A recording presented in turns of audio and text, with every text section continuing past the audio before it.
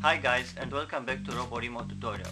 In this video I'll show how to export the RoboRemo interface to a file and import it on another device. For example if I want to use this interface on my phone. Now this is a simple interface, it is quite easy to build it from zero, but there are other interfaces that take more time to build. For example this one or this one. So now I'll go back to that interface and I'll give it a name. To do that I select menu, interface, rename and I enter the name. For example button LED. This renaming is optional but it helps you identify the interface when selecting the interface from menu. So you see now the name appears here.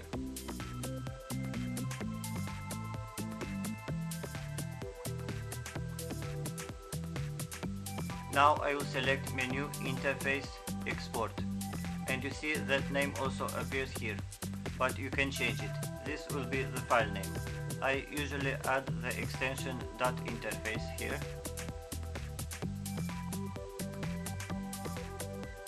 But uh, you can use whatever extension you want.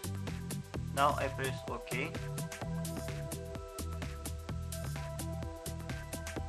And the interface was saved in the RoboRemo folder on the SD card. Now I close the RoboRemo and open the file manager and go to the RoboRemo folder and here is that interface file. Now I'll send this over Bluetooth to my phone. So I long click on it, share area Bluetooth. This is my phone.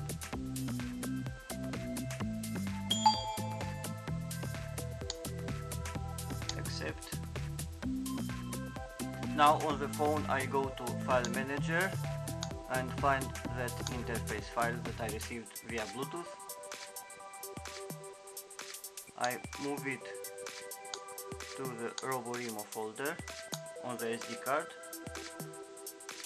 Now I open the RoboRemo app and select menu interface import and select this interface. And now I can control this Arduino using my phone. So I select menu connect Bluetooth RFCOMM and choose the device. And you see it works the same.